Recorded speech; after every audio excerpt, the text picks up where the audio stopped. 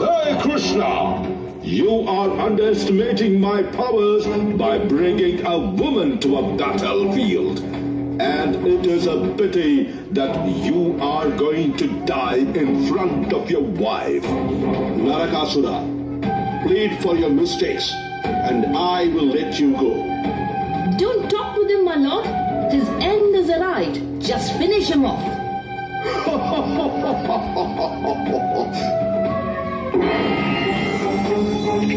fierce battle started between Narakasura and Krishna.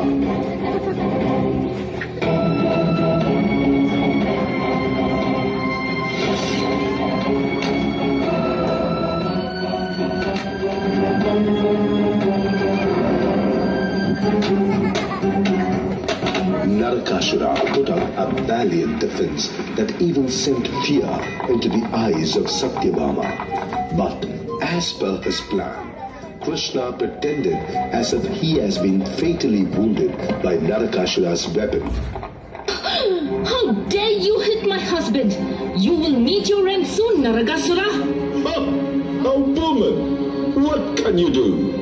I will send you to the place where your husband went. An enraged Satyabhama took out her bow and arrow. Once again, the battle continued.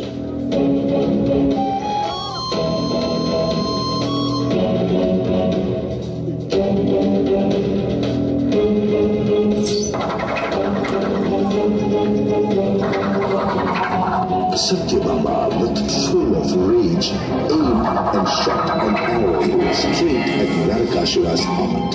Narakasura was struck and fell to the ground dying. At once, Narakasura realized Satyabhama was an incarnation of his mother Bhudevi. Even Satyabhama realized the very same thing.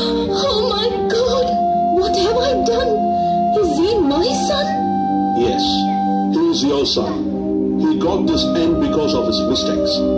Don't worry, my dear. This day will be celebrated as Naraga Chaturdashi and be celebrated by lighting lights all over. From that very day on, to honor the faith in Bhumi Devi, who killed her own son to restore justice and peace, deepams were lighted on the eve of Diwali.